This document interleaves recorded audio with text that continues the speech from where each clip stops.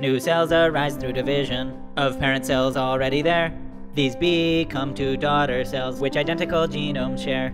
Cell division is part of the cell cycle, which has four phases. G1, S, G2, and M are the sequential stages. The cell cycle involves cell growth and chromosome replication, chromosome segregation, and cell division. Together, the first three phases are called interphase. DNA and chromosomes duplicate during S phase.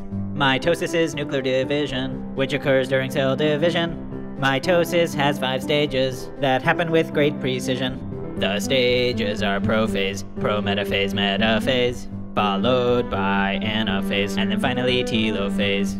During prophase, chromosomes condense and become distinct. Each chromosome consists of two sister chromatids linked. Meanwhile, outside the nucleus, the mitotic spindle assembles between two centrosomes. The chromosome moving essentials. The nuclear envelope breaks down at prometaphase start.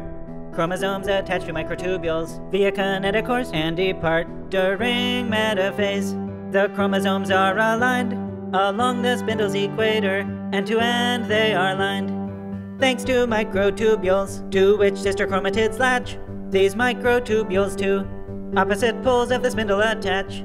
During anaphase kinetochore, microtubules are shortened, spindle poles move apart, daughter chromatids are transported. This synchronized separation of sister chromatids, my friend, makes two sets of daughter chromosomes, one at each end. Now the last stage of mitosis, telophase can commence. Daughter chromosome sets arrive at spindle poles and decondense. Nuclear envelopes assemble to make the genomes discrete.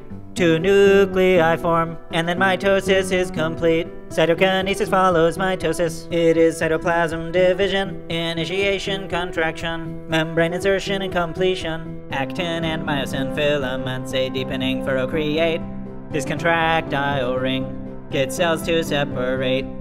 As this ring contracts, an intercellular bridge takes shape.